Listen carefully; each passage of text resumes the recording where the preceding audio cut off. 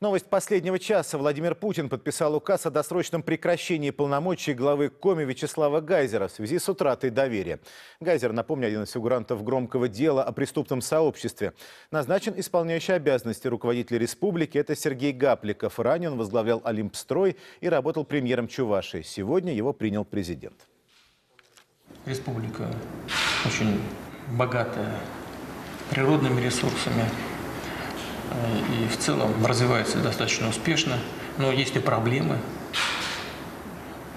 Часть из этих проблем вам известна. Как вы э, сами смотрите на это возможное назначение и какие бы задачи видели в качестве первоочередных?